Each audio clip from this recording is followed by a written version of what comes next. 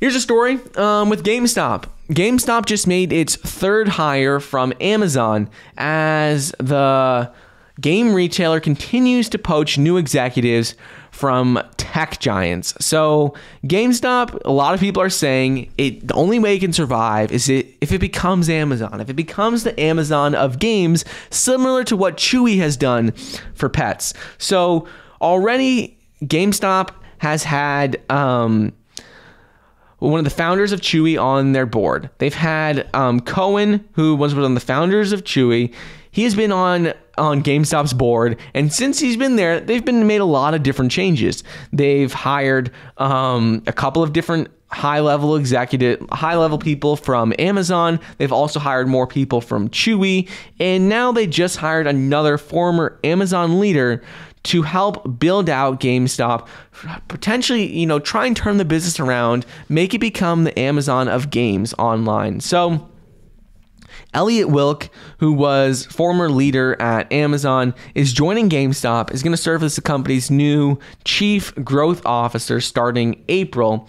And Wilke, he oversaw a lot of different initiatives at Amazon. He's going to be joining GameStop uh, in addition to other Amazon high level people at Amazon who joined GameStop, such as Jenna Owens, who was Amazon Fulfillment Director, former Amazon Fulfillment Director, and former Amazon Web Services Engineering Lead, Matt Francis. So, all of these people have joined GameStop's executive team.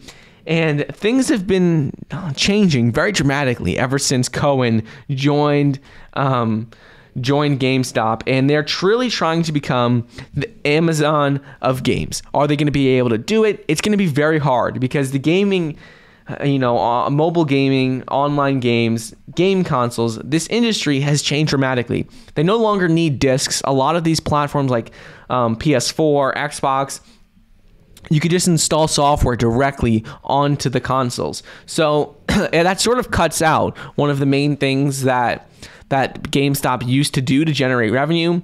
So they're going to have to really change things up still. Even though they can't just sell games online, they're going to need to change up their model completely.